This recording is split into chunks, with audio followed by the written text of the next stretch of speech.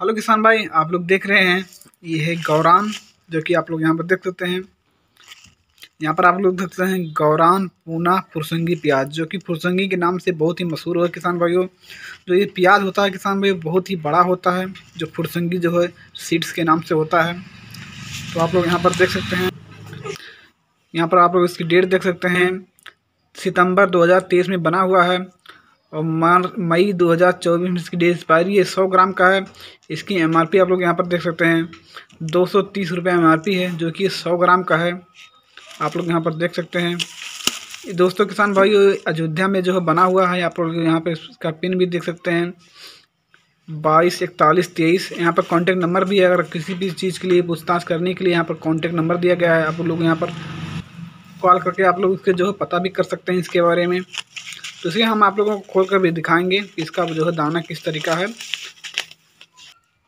यहाँ पर आप लोग देख सकते हैं, यहाँ पर खोल के दिखाया जाएगा इसका पैकिंग। इसका दाना भी दिखाएँगे आप लोगों को, इसका बीज कैसा है।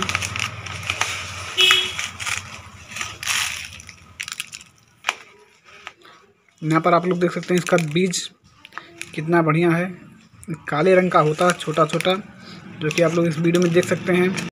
किसान भाइयों, फुरसंगी प्याज बहुत ही अच्छी क्वालिटी की प्याज होती है, जो किस, जिस किसान भाई को नहीं पता है, वो अपने जो है नेट पर सर्च कर सकते हैं फुरसंगी प्याज के बारे में। इसका आड़ी दोस्तों, किसान भाइयों, छोटा रहता है, लेकिन सड़ेगा नहीं। काफ़ी दिन तक जो है इसमें बना रहता है, क्योंकि सड़ने का कोई संभावना नहीं रहता है। और जो किसान भाई जो है इस फुरसंगी प्याज को लगाए हैं अपना कमेंट बॉक्स में ज़रूर जवाब दें कि प्याज कैसा है, ताकि सभी किसान भाई लोगों को पता चले इसके बारे में। और ताकि अच्छी से अच्छी जो है किसान भाई अपना जो है उपज प्राप्त कर सकें। किसान भाई, आप हमारे चैनल पर नए हों तो प्लीज़ चैनल को सब्सक्राइब करें, क्योंकि आपको कृषि से संबंधित वीडियो आपको यूट्यूब पर मिलते रहेंगे। Thank you for watching this video